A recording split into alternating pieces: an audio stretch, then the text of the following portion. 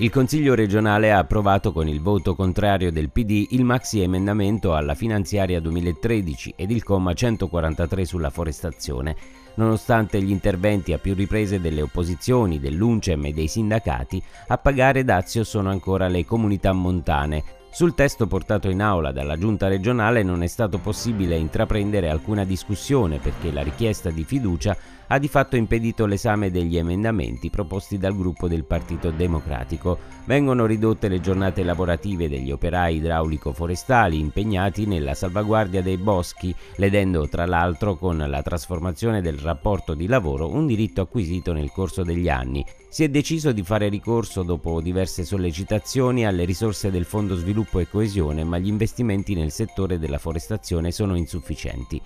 L'utilizzo delle risorse del Fondo Sviluppo e Coesione, afferma il consigliere regionale Donato Pica, non fa altro che confermare quello che il PD sostiene da tempo, ovvero che l'intervento nelle aree interne a salvaguardia del territorio non rappresenta mero assistenzialismo, come qualcuno vuole fare credere, ma un investimento per i territori a protezione e bonifica dell'ambiente.